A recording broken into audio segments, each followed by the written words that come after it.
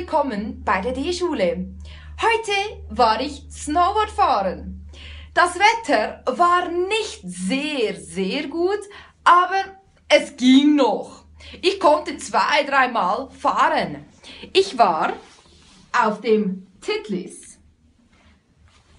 Und jetzt sitze ich in der Gondel. Mit dieser Gondel fahre ich wieder nach unten, weil oben ist so eine schlechte Sicht, dass ich nicht selber runterfahren konnte. Naja, ich wünsche euch auf jeden Fall ein wunderschönes Snowboardfahren oder Skifahren in den Bergen. Aber wisst ihr was? Sucht euch gutes Wetter aus. Tschüss!